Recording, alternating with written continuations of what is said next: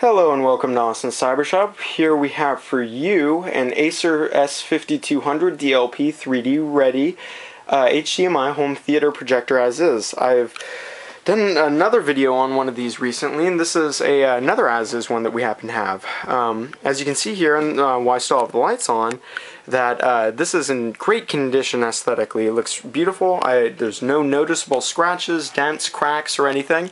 It's in pristine condition aesthetically. Alright, let me just turn the lights off here and we can test this thing out and see how it works.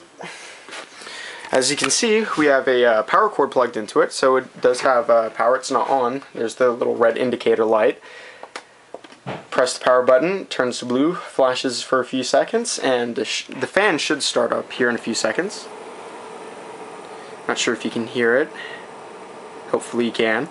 Um, and hopefully in a few moments here, oh there we go, an image pops up. Acer, empowering people. Wonderful. Um, the problem with this projector is uh, that it will randomly shut off after a few seconds of uh, being on. O around 45 seconds to a minute is uh, usually when it shuts off.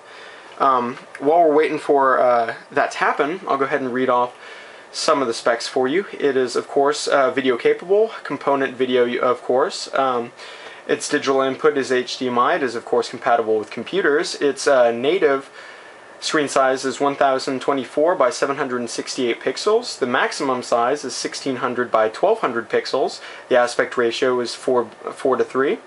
The light source type is a 210 watt UHP and the life is 3,000 hours, of course, uh, assuming that's, you know, dependent on the lamp usually.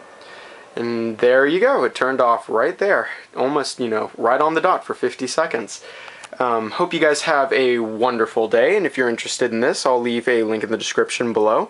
Feel free to uh, leave us a like on Facebook, uh, find us on eBay under the seller name Cyber Infinity, and watch more of our videos.